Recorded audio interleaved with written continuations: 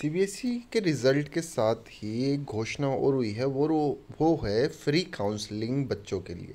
Result के बाद बच्चे बहुत ज़्यादा स्ट्रेस में आ जाते हैं, परेशान हो जाते हैं तो उससे डील करने के लिए सीबीएसई ने एक टेली काउंसलिंग हेल्पलाइन नंबर जारी किया इसका जो फ़र्स्ट फ़ेज़ है, वो एग्ज़ाम से पहले हो चुका है। अब सेकेंड फ़ेज़ जो है, वो आफ्टर एग्ज़ाम्स आफ्टर रिज़ल्ट होने वाला है। जिसमें 65 प्रोफेशनल्स की टीम होगी, जैसे principal trained counsellor special educator और बहुत लोग, जो बच्चों को हेल्प करेंगे उनके स्ट्रेस को फेड आउट करने में। इसके लिए करना क्या है? एक सेंट्रलाइज टोल फ्री नंबर बनाया गया है one eight double zero one one eight zero zero four, जो आपकी स्क्रीन पर भी दिख रहा है। उस पर कॉल करके आपको रिज़ल्ट के बाद कुछ भी परेशानी है कि रिज़ल्ट में क्या करना है, क्या प्रॉब्लम्स आ रही हैं, कैसे सोल्व करना है, उसके बारे में आप आराम से डिस्कस कर सकते हैं। इसके साथ ही एक काउंसलिंग के लिए एक लिंक भी है जो वेबसाइट पर अवेलेबल है और हमारे वीडियो के डिस्क्रिप्शन में भी आपको वो मिल जाएगा। इसके रिगार्डिंग और भी कोई जानकारी चाहिए तो आप कमेंट्स में पूछ सकते हैं।